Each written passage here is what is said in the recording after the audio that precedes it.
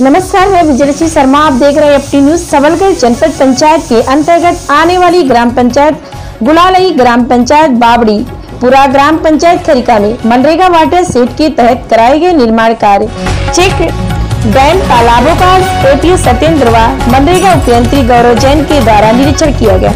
निरीक्षण में तालाब व चेक डैमों में पर्याप्त पानी व ग्रामीणों से चर्चा करने पर संतुष्ट हुए वहीं ग्रामीणों ने चर्चा के दौरान बताया कि उक्त चेक डैम बनने व तालाब बनने से आसपास के क्षेत्रों के जो सूखे कुएँ थे, उनमें भी पानी आ गया और वाटर लेवल बढ़ गया है, जिससे आसपास के क्षेत्रों में पानी की किल्लत नहीं होगी और सिंचाई और पशुओं को भरपूर पानी मिल रहा है। वहीं पंचायत के सरपंच सचिव रोज़गार सहायकों को मनरेगा उपयंत्री जैन व एपीओ यादव के द्वारा निर्देशित किया गया कि भविष्य में जल ही जीवन है, इसका रख रखाव ठीक प्रकार से हो और पानी व्यर्थ बर्बाद न हो।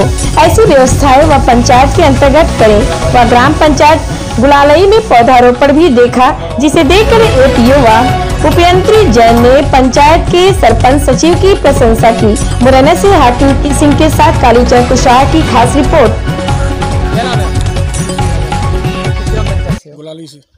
तो ये जो चेक डैम बना है इससे क्या फ़ायदे हुए हैं जरा तो बताएँ। इससे हमको ये फ़ायदा है कि हमारी ज़मीन में सारी सिंचाई होती रहती है वाटर लेवल भी बढ़ता है यहाँ पे कुओं में। पहले क्या स्थिति थी जब नहीं बना था तब क्या पहले तो इतनी स्थिति खराब थी कोई फ़सल में कुछ होता भी नहीं पाना भी नहीं था। तो फिर आप कैसे फ़सल करते थे फिर? कैसे भी नहीं फ़सल फिर नष्ट ऊपर बरसात हो जाती कर लेते बरसात नहीं तो बैठे रहते। अब क्या स्थिति है? अब ठीक है। बरसात हो या ना हो? हाँ। अब पानी का रख रखाव रहता है। हाँ काफ़ी अच्छा तो ये पानी। उपयोगी है आपके लिए? बिल्कुल। क्या नाम है आपका? रावणी लाल आदिवासी। कौन सी पंचायत के भैया? गुलाली पंचायत। अच्छा ये बताइए कि यहाँ जो पास में एक चेक डैम बना हुआ है ये चेक डैम बनने से क्या फ़ायदे हुए हैं? और इससे पहले जब ये नहीं बना था तो क्या क्या, परेशानी आई आप लोगों को? पहले तो परेशानी बहुत होती है कि पानी निकल जाता पूरा। काय को पानी? जे नाले का।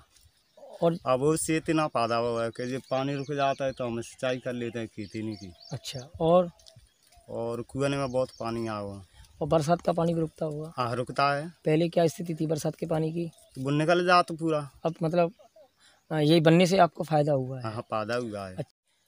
जब ये निर्माण कार्य हो रहा था तो उससे भी कुछ फ़ायदा हुआ आपको? हाँ फ़ायदा हुआ हमने को काम मिला मजदूरी मिली थी। रोज़गार मिला आपको? हाँ रोज़गार मिला। कुल मिला के आप इस चेक डैम के बनने से आपका गाँव और आप सभी लोग संतुष्ट हो? हाँ संतुष्ट हैं। हाँ। कुछ है। पानी की बर्बादी बची? हाँ हम बचिए। तो ये पानी आप लोगों के उपयोग के लिए आ रहा है? हाँ आ रहा है। क्या नाम है आपका? कोमल सिंह यादव किस ग्राम पंचायत से हो? बुलाली आप ये बताइए ये यहाँ इतने ये वृक्ष जो लगे हैं जी क्या क्या है ये ये पंचायत द्वारा वृक्षारोपण कराया गया है। पंचायत के द्वारा। हाँ। तो इससे पहले क्या इस खेत में ऐसे वृक्ष थे? इससे पहले तो ये पथरीला एरिया था मिट्टी भी नहीं थी। हम्म।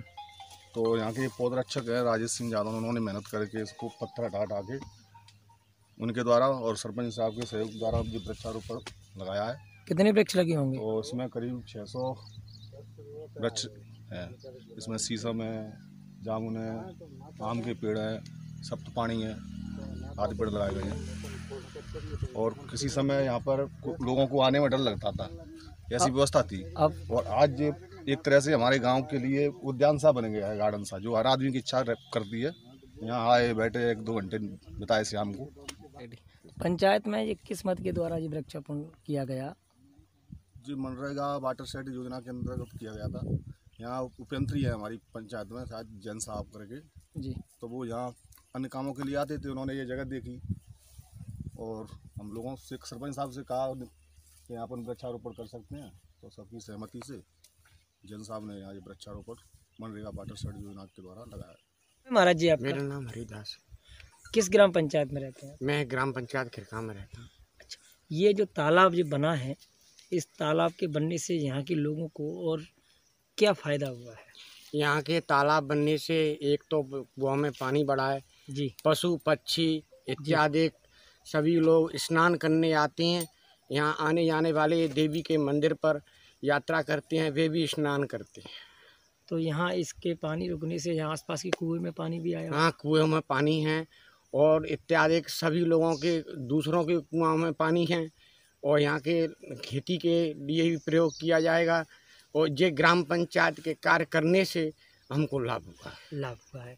अच्छा तो जब ये तालाब बनाया गया होगा तो यहाँ के लोगों को रोज़गार मिला कि नहीं मिला? नहीं मिला है सर। इससे रोज़गार मिला? हाँ रोज़गार मिला है।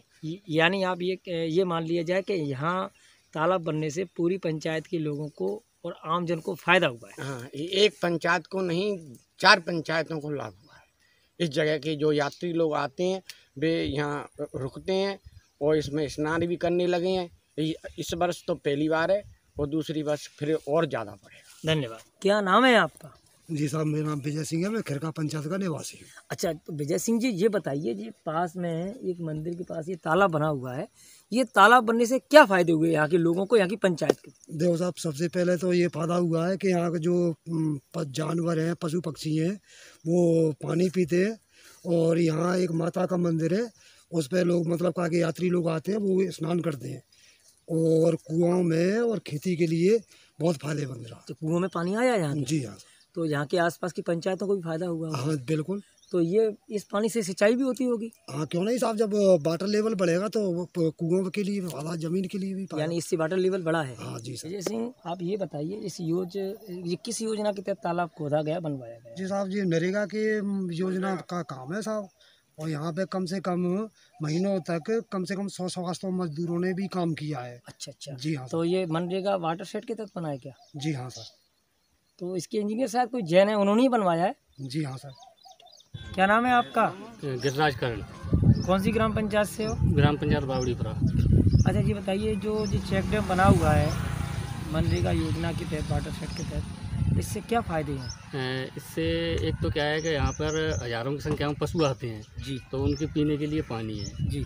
दूसरी बात दूसरी बात इसमें जो पानी रुकता है उसका स्रोत कुएँ वगैरह नहीं है यहाँ पर तो वाटर लेवल बढ़ाने में आ रहा है। और फ़सलों के लिए फ़सलों के लिए इसका उपयोग हो सकता है बाद में। कुल मिला के ये बरसात का पानी वेस्ट नहीं जा नहीं बरसात का पानी का बहुत अच्छा उपयोग है। आज आपके द्वारा कौन कौन सी ग्राम पंचायतों में किस चीज़ का निरीक्षण किया गया आज मेरे द्वारा मनरेगा वाटर शेड जनपद सबलगढ़ के अंतर्गत तीन ग्राम पंचायतों का निरीक्षण किया गया, जिसमें ग्राम पंचायत गुलानी ग्राम पंचायत किरका और ग्राम पंचायत बाबीपुरा का चेक डैम निर्माण एवं तालाब निर्माण कार्य का निरीक्षण किया गया, जिसमें काफ़ी अच्छी मात्रा में पानी भरा हुआ था ग्रामीण जनों से बात करने के उपरांत महसूस हुआ कि, वास्तव में काफ़ी।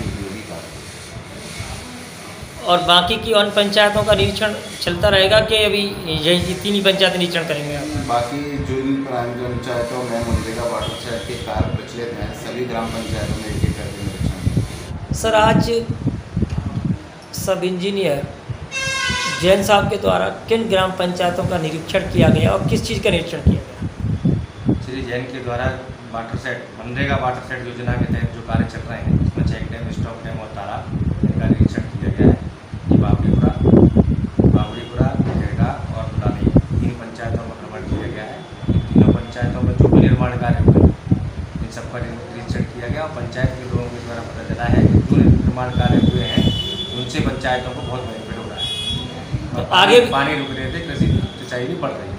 सर आगे भी पंचायतों का निरीक्षण चलता रहेगा कि बस यही? नहीं बिल्कुल सतत रूप से निरीक्षण चलता है। आज नहीं आप पहले से भी चल रहा है और आगे भी चलते रहेगा। तो सर इसका आपके द्वारा इसकी मॉनिटरिंग की जाएगी?